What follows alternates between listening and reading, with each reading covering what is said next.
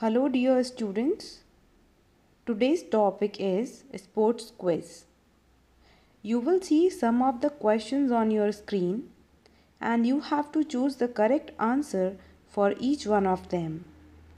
First one is in 2016 who became the first female gymnast from India to qualify for the Olympics. 2016 में Olympic के लिए qualify करने वाली भारत की पहली महिला जिमनास्ट कौन बनी?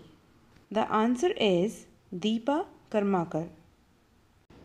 Question number two is at the 2018 Commonwealth Games Heena Sidhu won a gold medal in which women's event 2018 के कॉमनवेल्थ गेम्स में हीना सिंधु ने कौन से वुमेंस इवेंट के लिए गोल्ड मेडल जीता था?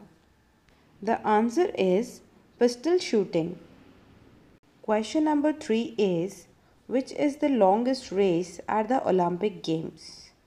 Olympic Games में सबसे लंबी दौड़ कौन सी है the answer is 50 kilometre walk question number four is what is the name of the award given by the government of India for excellence in sports coaching?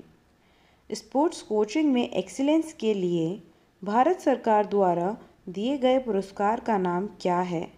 The answer is Dronacharya award question number five is who was given the honour of carrying the Indian flag at the 2016 Olympic Games 2016 Olympic Games में Indian flag को ले जाने का सम्मान किसे दिया गया?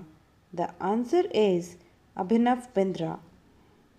Question number 6 is In which sport would you be extremely proficient if you had 2500 and above ELO points?